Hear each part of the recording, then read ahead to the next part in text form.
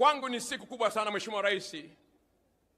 Ninajua kwamba umekuja kushukuru Mungu, lakini mimi pia nashukuru Mungu sana sana kukuona umeketi hapa kama rais wa taifa la Kenya. Ni muujiza mkubwa, na jina la Mungu libarikiwe.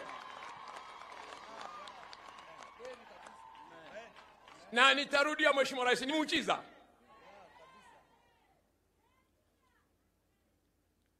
Mwaka uliopita yuko mtu alikuja akaniambia kwamba rafiki yako Ruto asipokuwa rais utafute nchi nyingine,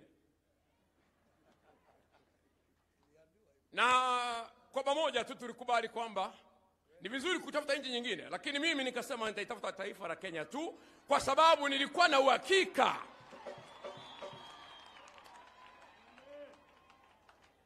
I was extremely sure, Your Excellency, kwamba Mungu atakupa ushindi.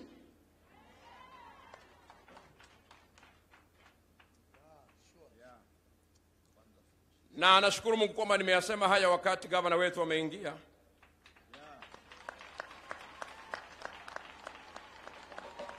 Kwa sababu yapo mambo niliyoyasema mbele yake wakati huo kabla sijajua kwamba hatafanyika rafiki. Mheshimiwa Zaidi Chanda, Mungu amekupa neema na kibali, na pia nashukuru sana Mungu kwa ajili yako na kwa ajili ya best man wako Mheshimiwa Silvanos Osoro,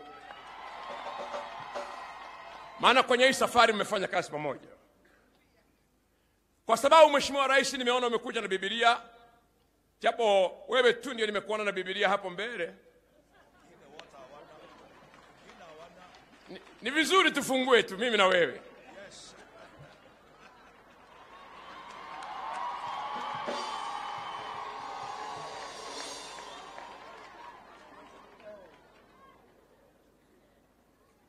na naamini kwamba next time wanafunzi wako wataanza kuiga mfano wako. Naamini hivyo. Kitabu cha Nehemia mbili mstari wa ishirini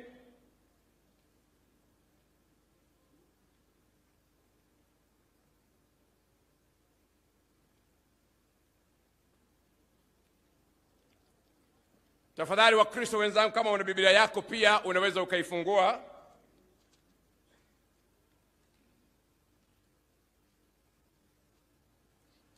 I answered them by saying, The God of heaven will give us success.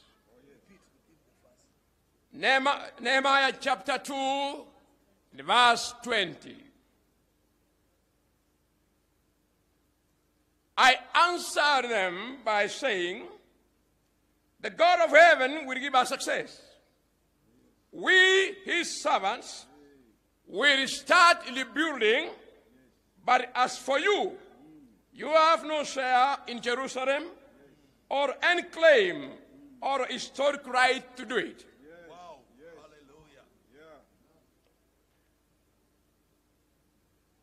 Ni wakati wa kujenga tena taifa la Kenya. Na vile Sheikh amesema tunalijenga kwa umoja na kwa pamoja chini ya uongozi wa Mheshimiwa Rais. Nehemia, ilikuwa ni wakati ukuta wa Yerusalemu ulikuwa umeanguka, na ikawa amepokea maagizo kutoka kwa Mungu aende kuujenga, lakini wakatokea watu wawili, mmoja anaitwa Tobaya, mwingine anaitwa Sanabalat.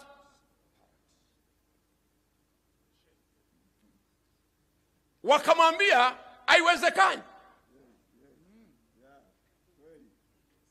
wakasema haiwezekani, lakini niruhusu tu nitumie slogan ya Azimio, inawezekana.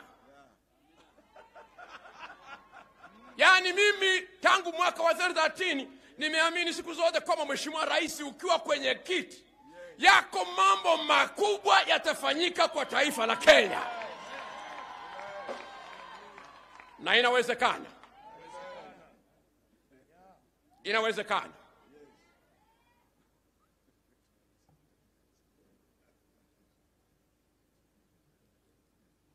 Ukuta wa Yerusalemu ulikuwepo hawali, lakini ulikuwa umeanguka. Ninazungumzia state ya taifa la Kenya.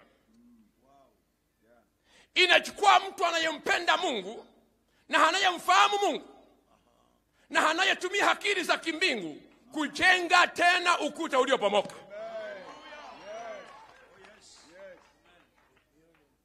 Rebuilding. Naamini sana kwenye miujiza, Mheshimiwa Rais.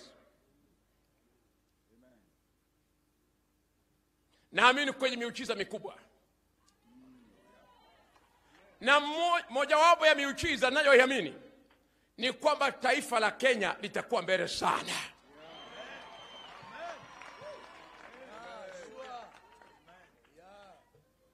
Ikiwa wewe ndiwe rais wa taifa la Kenya, maana hakukuwa na ishara hata moja,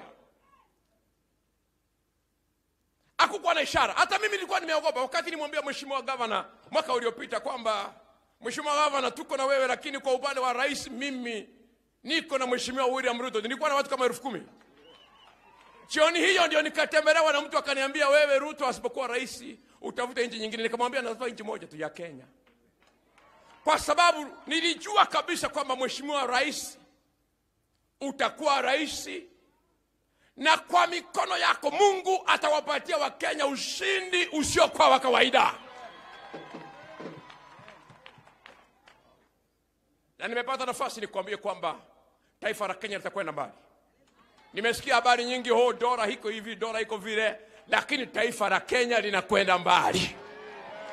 Narudia kama nabii, taifa la Kenya linakwenda mbali. Kama kuna mtu wa kumshangilia Yesu, nasema taifa la Kenya.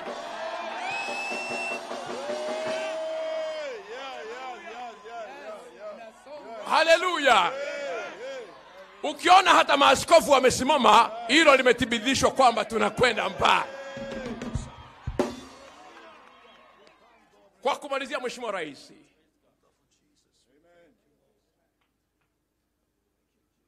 Mwanzo 41 mstari wa 16, kwa kumalizia kabisa, ana Mheshimiwa Osoro anaendelea kusmaili, si mheshimiwa akuwe pasta tu. E, kuna siku alinitembelea kanisani akaimba, kama si ati tulijifanya wagumu tungeanguka.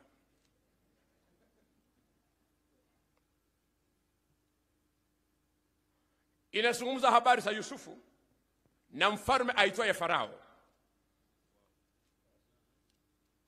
Mwanzo 41:16. Farao alipewa habari ya Yusufu kwamba yuko mtu ana capacity Napenda sana stari mwisho Mandu anasikiliza. That's good. Uwe church member wetu. Hiyo stari ni nzuri mheshimiwa. Naongea mambo ya capacity. Farao akasikia yuko mtu gerezani. Yuko mtu kwenye mahangaiko lakini hakuna capacity. Wakati mwingine Mungu ana overlook mahangaiko akiangalia capacity yako. Yuko mtu ako na capacity ya kuinterpret akamwita Yusufu akamwambia, niliota lakini nataka unisaidie, maana sifahamu wala kuelewa nilichokiota.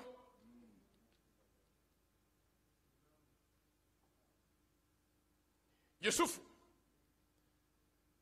akamwambia Farao, kwa kweli sitaweza, lakini yuko Mungu mbinguni na atampatia Farao maana ya ndoto yake. Siku zote nimesikia Mheshimiwa Daktari William Ruto akisema yuko Mungu mbinguni. Naomba hata kama utasahau kingine useme yuko Mungu mbinguni. Jamani, sema tena, yuko Mungu mbinguni. Patia itachi la moyo wako. Bwana Yesu asifiwe. Bwana Yesu asifiwe kwa sababu nimeona Mheshimiwa Ongwae kwa mara ya kwanza tangu awe gavana Kisii achawahi andika mafungo ya Biblia. Nimeona akishughulika, sijui kama amepokea wokofu. Hakuna siku niliwahi kuona ukiandika, ni kama mtu ukitoka uongozi unakuwa unakuwa church elder. Bwana Yesu asifiwe. Tafadhali watu wa Mungu wa Nyaribari chache na wageni wetu, yuko Mungu mbinguni. Mheshimiwa Rais na wageni wote mtakaporudi, mkumbuke hadithi hii. Mimi napenda kuochi wanyama kwenye runinga, napenda kuwacha wanyama sana kwenye runinga, lakini siku moja nikaona mnyama mmoja ndofu,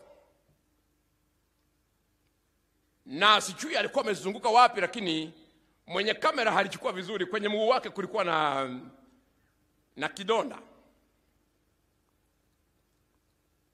na huyo ndofu niliyemwona hapo kwenye kidonda, wapo wadudu wanaendelea kujitafutia chakula kwenye kidonda, lakini pia yeye ako bisi kwenye malisho.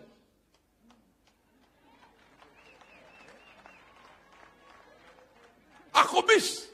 Sasa mimi nikajiuliza, mbona mbona ndofu asikii uchungu?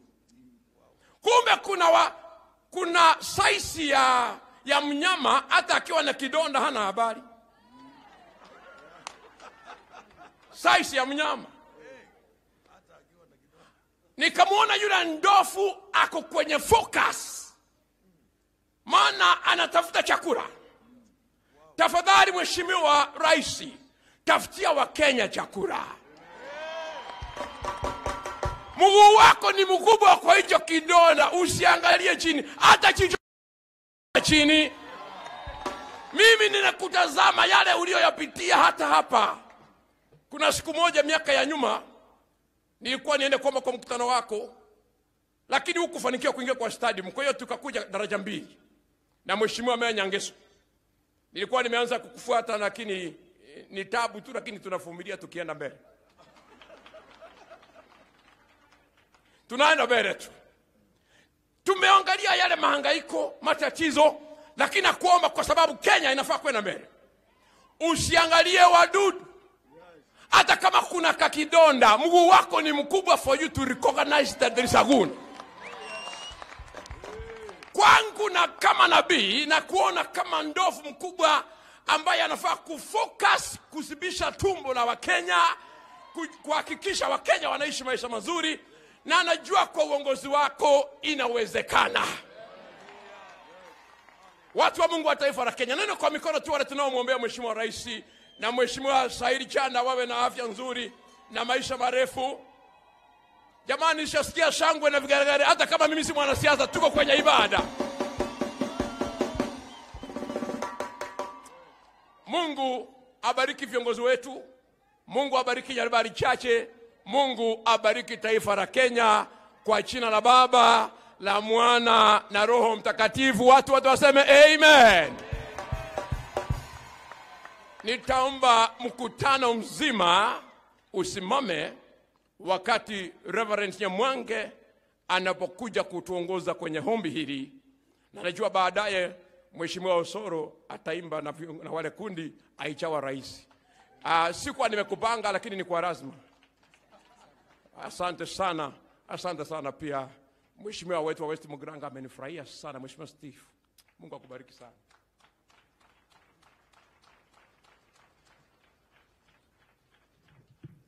Uh, let's bow down for the word of prayer. Our Father and King of all glory, ancient of times, you who is from the beginning to the end, your understanding is from the end to the beginning. We are gathered here, King of all glory, during this thanks, uh, this, this uh, giving thanks service, and thank you because of the word that you deposited in the heart of your servant. Our hearts are receptive. Our ears are opening to this word. King of glory, we pray that you may follow it and establish it. For in Jesus' name we pray and believe.